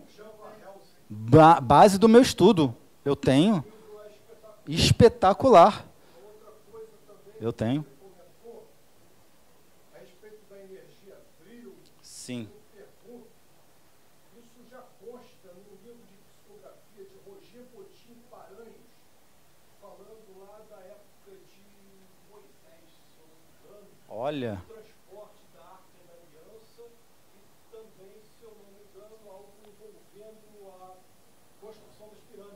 Sim, tem.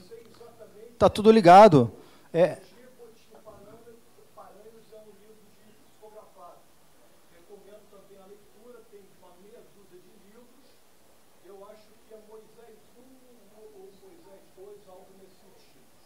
Sim, é. Tem, tá tudo ligado. com relação aos existem no Brasil, pelo menos me foi divulgado, eu vi algo na internet. Por que, isso é tão sociedade não é tão divulgado assim? E se existe ou se é enganação? Tudo que se refere à ufologia é preciso que as pessoas vão atrás, vai buscar, porque há uma tendência de, de ocultação, isso aí é fato já. Eu digo até pela minha experiência no caso de Magé, porque tinha muita coisa ali que eu descobri e que foi investigado e que a gente, infelizmente, está com as mãos atadas porque não temos como trazer à tona as evidências ainda, as provas. Mas eu estou, assim, é, aberto a, a, qualquer um, inclusive se tiverem, até, até falo no meu programa no YouTube, se tiver algum militar que tenha tido o, participação no caso de Magé, entre em contato comigo, que tenha desejo no coração de, de que as pessoas conheçam essa realidade, entre em contato comigo, porque o sigilo vai ser total. Eu tenho credibilidade na ufologia suficiente para as pessoas depositarem a credibilidade naquilo que eu disser. E eu vou dizer, olha, por razões óbvias, eu não vou poder mostrar é um militar, ele tem conhecimento de tudo que aconteceu em Magé e o que ele tem para falar é isso aqui. E aí eu vou deixar ele falar. Então, quer dizer, tudo que é ufologia, agroglifos, tudo é, é, é meio que só se você realmente tiver um grande interesse em, em saber. Espera aí, é que ela lá atrás. É, primeiro, primeiro é de preto,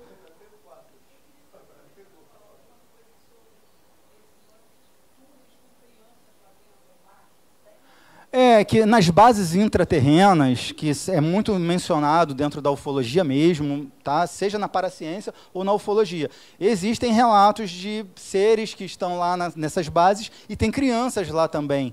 Tem uma comunidade lá embaixo. Então, isso daí, é, realmente, a gente tem conhecimento e pode ser que exista sim. Tá? A de azul.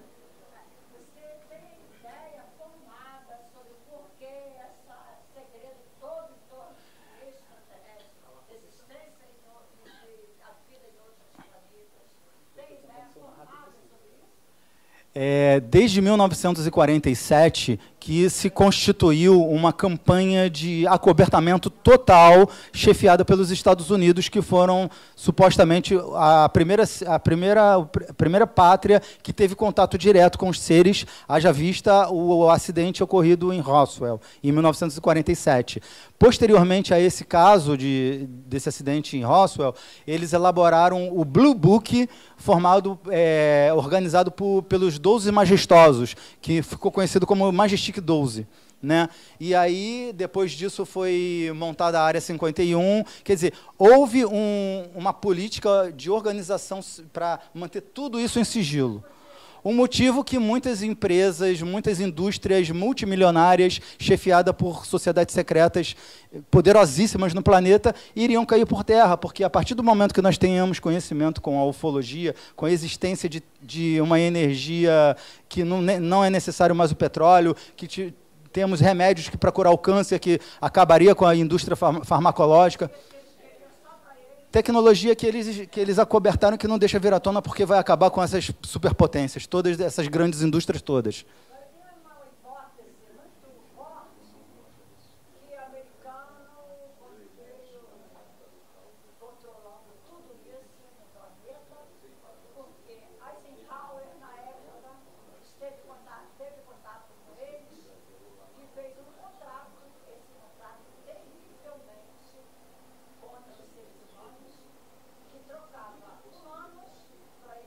Abdução, é.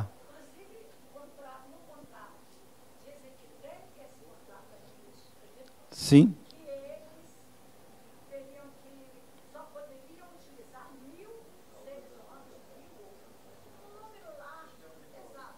Uhum.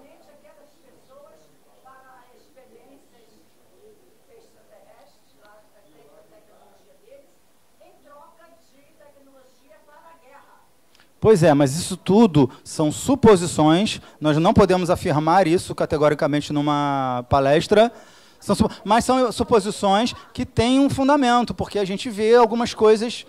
Né? Agora eu preciso. Tem um rapaz. É, é que eu estou já dentro do horário. Aqui é militar.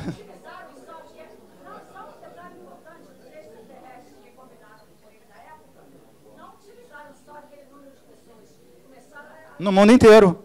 No mundo inteiro. É verdade. Não pode, é por isso que tem acobertamento. O último é o rapaz verde lá. O último.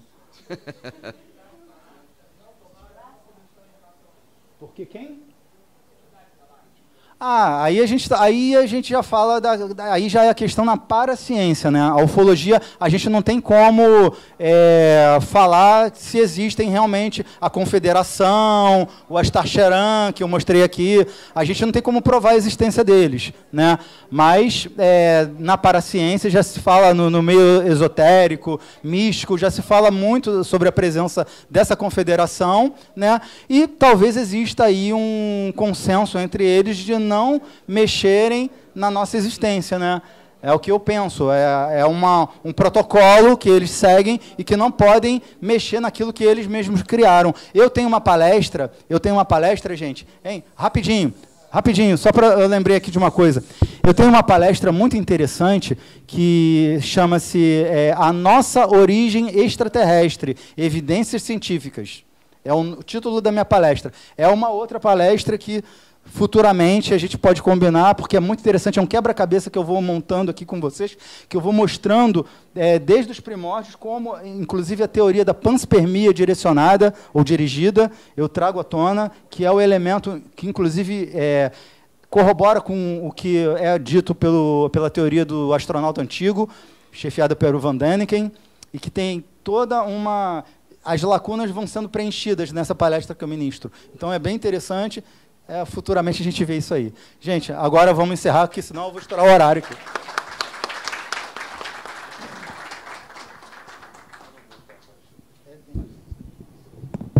Só por questão de justiça, o Armando quer ainda fazer a sua. Bom, é, como bom marqueteiro, a gente vive em função do que o público quer, né? Então eu, eu vou, já não vai ser com, com o Coronel Laporta, mas eu prometo a vocês, ainda esse ano nós fazemos um seminário sobre ufologia. Entendeu? Aí com a presença do, do Cristiano, a presença do, do Iannuzzi, do Petit. Então nós vamos, vou começar a trabalhar em cima com o Armando, com a, com a, com a Marina, e com o Cristiano também. Não, é o outro Cristiano é que é, me ajuda na organização. Então está prometido e promessa é para ser cumprida.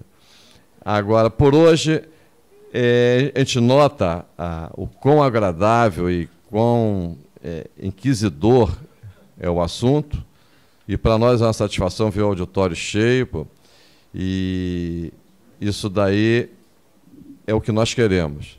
É justamente que aqui dentro nós tenhamos a oportunidade de discutir assuntos que possam ser do interesse de bastante pessoas. Tem, está sendo transmitido ao vivo, inclusive pelo Instagram, então tem mais pessoas ainda assistindo e isso nos leva à certeza de que estamos trilhando o caminho certo. E nesse momento me cabe aqui, aproveitando a, a oportunidade, fazer um agradecimento a quem me possibilitou implementar essa ideia desse ciclo de palestras na Madureira, que foi o Coronel Laporta, nosso primeiro vice-presidente, que está se afastando. Hoje, a última palestra que ele assiste como primeiro vice-presidente, foi ele que me, me deu força para fazer é, é, disso daí um feito. Né? E eu queria agradecer, Coronel, por essa, essa oportunidade que deu a todos nós, não a mim, né? Mas a, a todos nós, de trazermos essa ideia que veio vicejando lá ainda do Clube Naval, dos meus amigos do Clube Naval, e hoje a casa de todos nós. Então, é, é, aproveitando, eu queria agradecer a ele e pedir que ele faça a entrega ao Cristiano do nosso diploma.